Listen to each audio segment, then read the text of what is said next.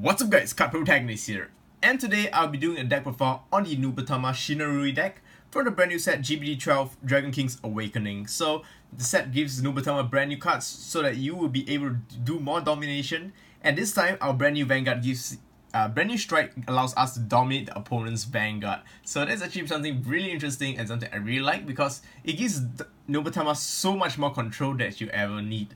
So I'll be doing a deck profile on how you should build a deck and how you can play the deck. So without further ado, let's get started. Alright, for the grade threes, we play 4 copies of the Trial Deck Shiranui. So you can get these from the brand new Trial Deck. Uh, if I'm not wrong, it's called Evil Eye Sovereign. So he, what he does is, at the beginning of your ride phase, he may choose a card on your opponent's drop zone. If you do, your opponent calls a card to the rearguard circle. At the end of the turn, you retire that unit. Okay, the reason why this card, this effect exists because sometimes against deck like Pale Moon, which they do not have any rear guards, you won't be able to perform dominate effectively.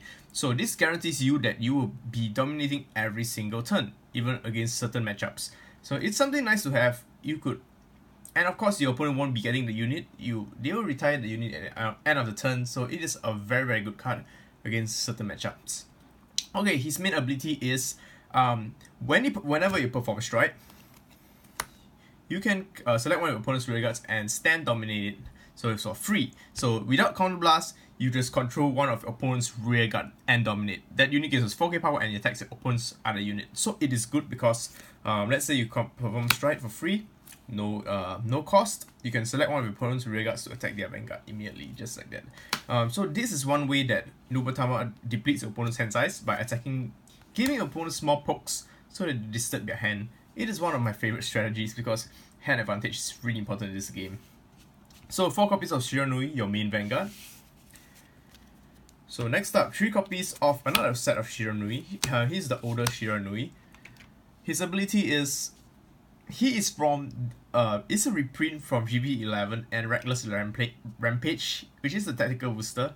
But um, thank goodness you can get them from the reprint because otherwise it's really hard to get. Alright, his ability is very different from the Dominate counterpart.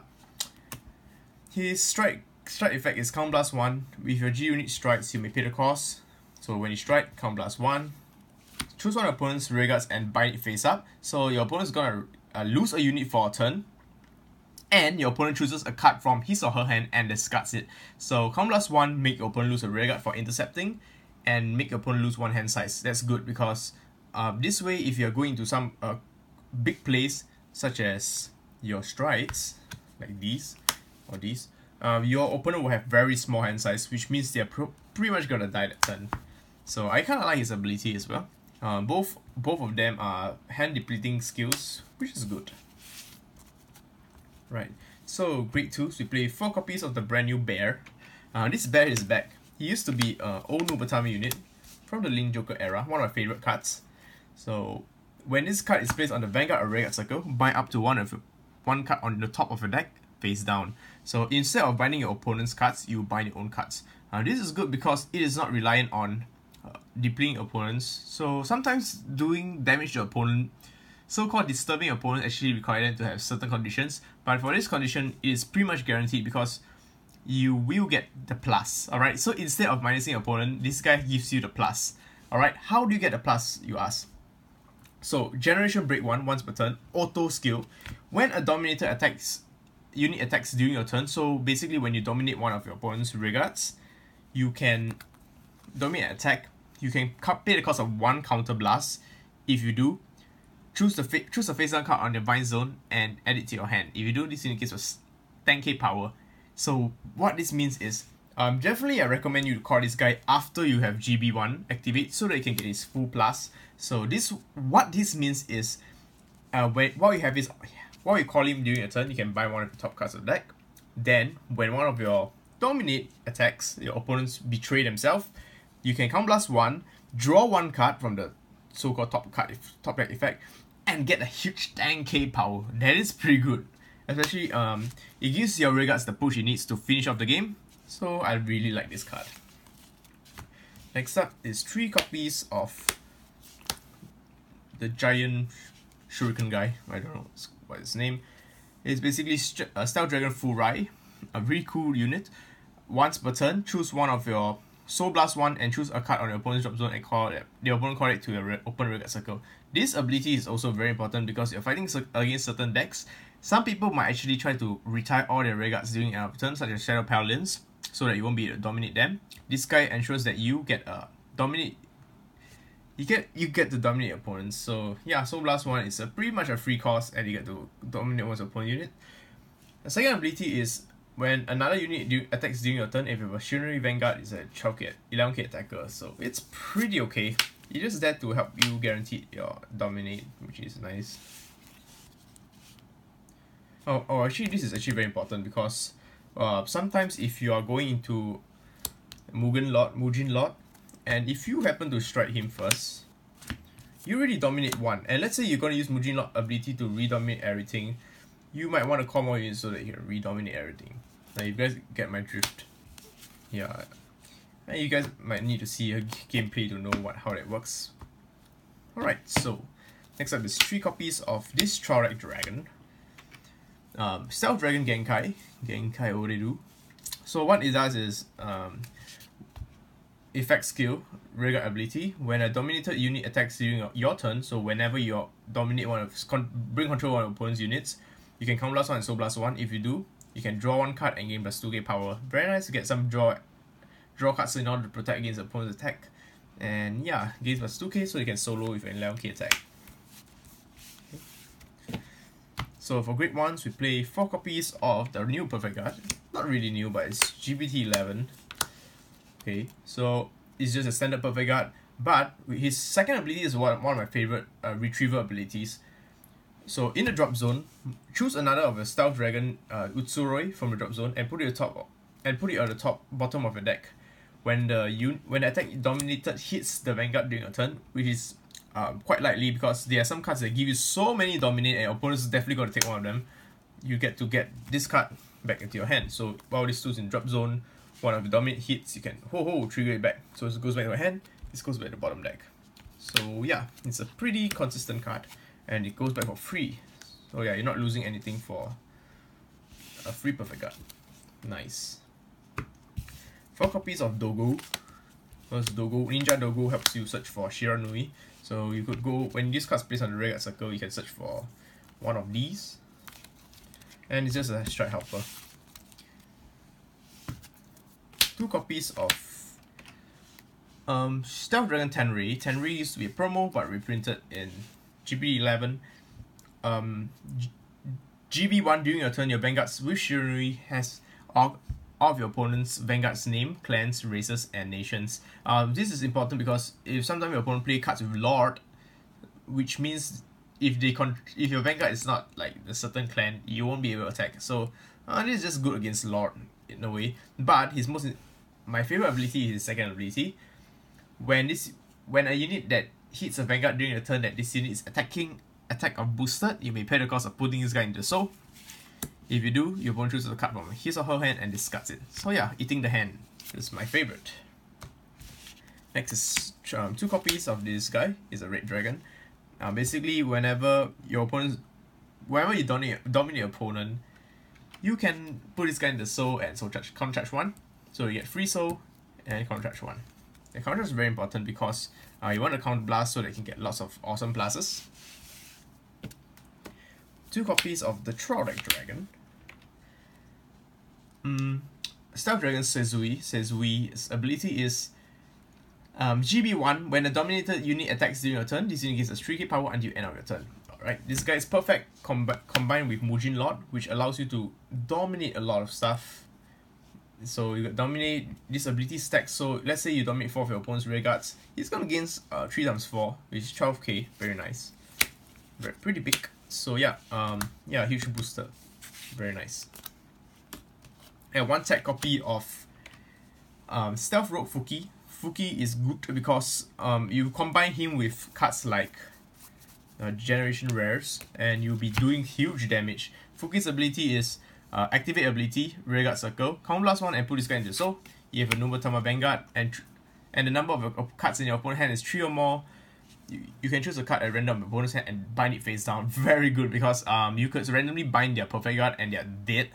And then at the turn at the end of the turn, the opponent put that card back into the hand. So yeah, um, you use this guy. You you call this guy. You reduce his hand to four. Bind. He left three hand. Swing. That's pretty much game. And this guy as well. Because if your opponent guards, uh, he's gonna discard more cards. So he's definitely gonna lose all his hand. Yeah, this is one uh, good finisher tag in. Attack this guy for a finisher. Alright, so let's go on to the triggers.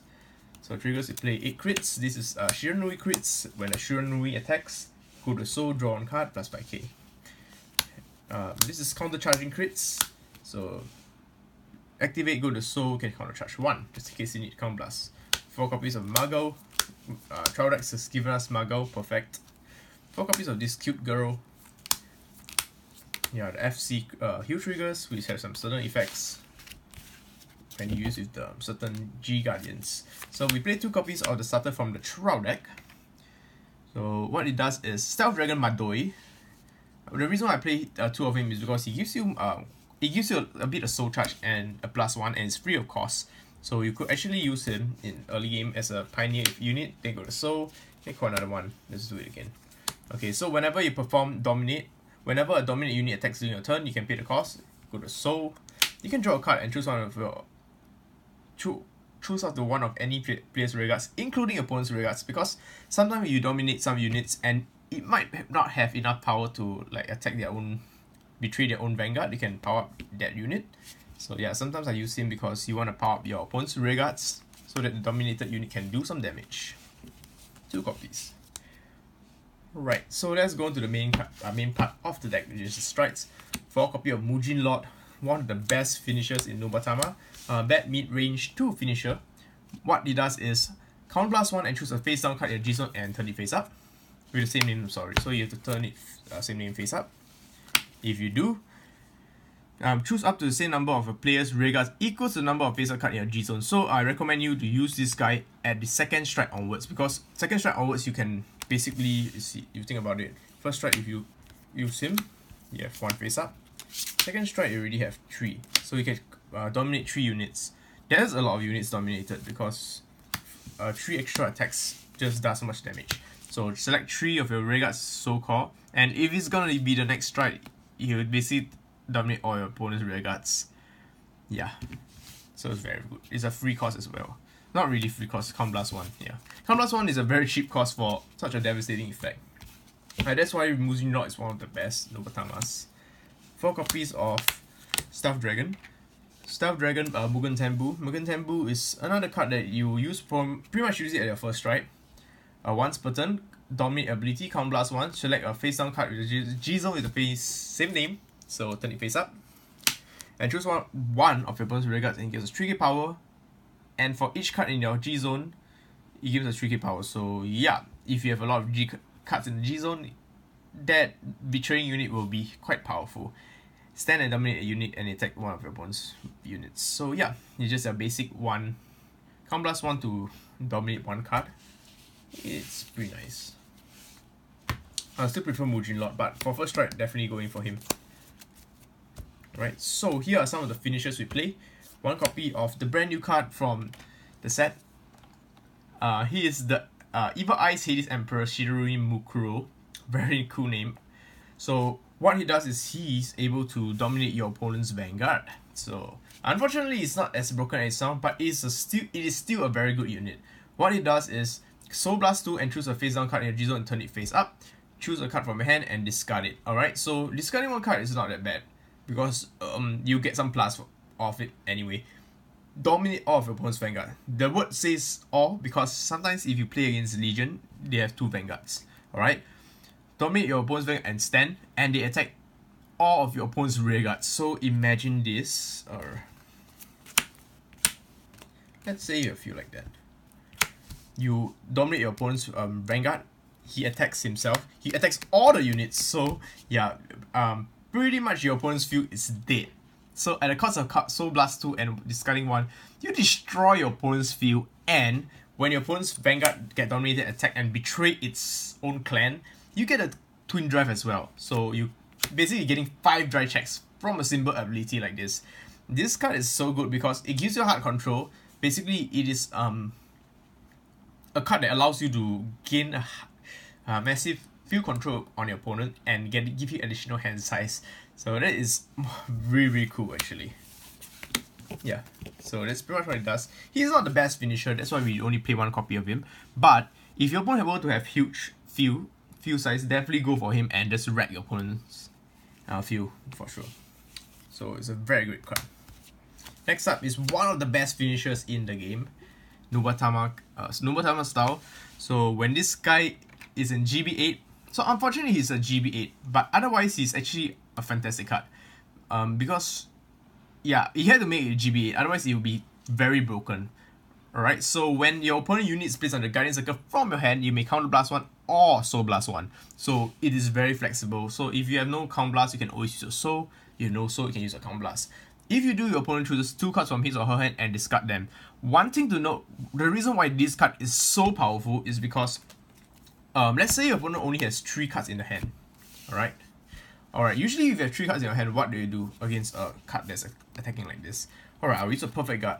Alright, however, if your opponent uses the perfect guard to guard already, it since your turn player priority, very hard to explain, but whoever's turn it is, he has the um, turn player priority, he has to discard the two cards even before he can pay for his perfect guard. So let's say he plays the perfect guard, he will loses immediately lose his two cards in hand. Oh oh, I can't pay for the cost of perfect guard, I'm dead. So that is why if you reduce your opponent hand size during your turn, during this strike turn, you pretty much win the game. It is a very very powerful card. And let's not forget that uh, it is an auto ability. So when your opponent's unit is placed on the Guardian Circle from your hand, so let's say you perform Stride on Shiranui Oboro, you dominate one of uh, dominate one of opponent's rear guard and it attacks, and your opponent happen to guard it, he has to discard another two cards when you come last one and so last one.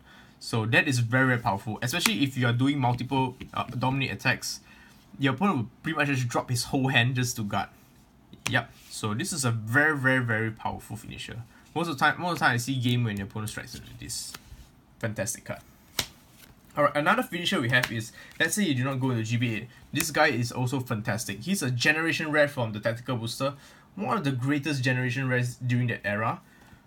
Rikudo Dragon uh, Murokaran. Long name, but he's a very powerful, uh, he has a very powerful ability. Count Blast 2 and choose a face down card in G zone and turn it face up. When this unit is placed on the Vanguard Circle, you may pay the cost of Count Blast 2. If you do, your opponent chooses 4 cards from his or her hand and bind the rest of them face down. So your opponent's basically just gonna try to survive you uh, with 4 cards in the hand, which is very unlikely because if you combo with cards like the Great One which I mentioned earlier, you combo with cards like these, your opponent will be left with 3 cards in their hand and they, they're pretty much done for. Um, 3 cards in your hand in this era won't be able to survive a strike unless you have 3 generation guards which okay, you might still survive, maybe. But don't forget you still have like a bunch of unit attacking. So it is a very, very powerful card. Yeah, it's one of the best finishers. So you have three choice of finishers. Maybe one is for control. These two are mainly our main finishers. So if you're GB8, definitely go him. Not GB8, go for him. Alright, so let's go to G Guardians. Some powerful G Guardians that Nubatama have is for uh, two copies of him Count 1 and Soul 1. When this unit play on Guardian Circle, you can choose one opponent's grade 1 rearguards and move it to your Guardian Circle. So basically, you steal their rearguards. That's pretty nice because you basically steal one of their grade 1s to become a 5k shield. It becomes a 20, 20k shield. Your opponent loses unit. So it's a kind of like a Kagero style of guarding. Uh, get rid of the, the Blaster Engine, which is the flow, the one coin Blaster Blaster Frame Buckle. One copy of the Troudek Troudek Shield. I just use it because um I play uh, one of these. So basically what she does is whew, when the unit placed on Guardian Circle, you pay the cost of turning a uh, G Guardian face down, face up, sorry. So basically I play 5 because we if you're playing this type of FC G Guardians, is recommending you to play 5 yeah, playing 5 also helps you quickly go into your GB8 because she helps you flip up faster. I don't know whether it's a plus or not, but it just helps. She has a fantastic ability. When this plays, plays on the Guardian Circle, you may pay the cost, your opponent chooses a card to discard from his or her hand. If she does not discard, this is a 35k shield for one single card. So most likely your opponent is just going to discard one card. And I love to make my opponent discard cards because it gives me huge advantage. Especially when you strike into your big guns. Yep. and just one screw because it's just a G Guardian that to flip up. Yeah, so I hope you guys enjoy my deck profile on the Shiranui Oboro deck. Uh, if you guys would like to see more uh, deck profiles like this, be sure to subscribe to my channel and follow my Facebook page. And if you guys would like to find some Vanguard or Buddy Fight decks, be sure to check out my be sure to check out buddy-mart.com. Links in the description down below. So yeah, we sell decks like these, Vanguards and Fight. So since um, recently there are tons of you guys who actually want me to do more Vanguard deck profiles and want to buy some decks for me, definitely therefore I actually start selling my decks. Yeah. So yeah, I just sell my decks so that I can get more decks to do more deck profiles. So you guys like will be pleased. So thanks for watching guys. Peace out and love you guys. Rar.